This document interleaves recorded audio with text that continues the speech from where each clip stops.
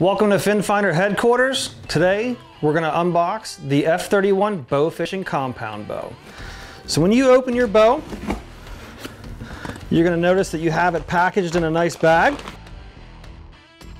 And in the box also,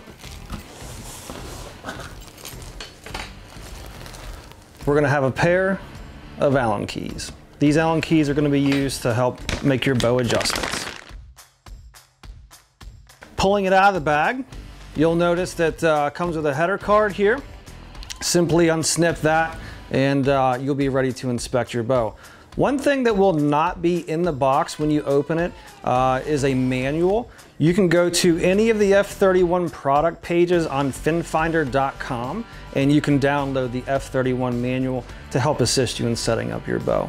The F31 manual can also be downloaded on finfinder.com under Resources, Media and Video Downloads. For more information on the F31 or other bow fishing accessories, visit us at finfinder.com.